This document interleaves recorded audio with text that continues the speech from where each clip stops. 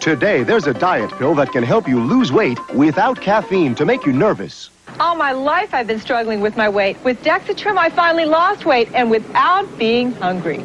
No matter what else you've tried, Dexatrim can help you lose weight. Just one works all day, morning through bedtime to control your appetite and help you lose weight. Dexatrim did it for me. I lost weight and feel great. Today's caffeine-free Dexatrim. Nothing works harder to help you lose weight. Nothing.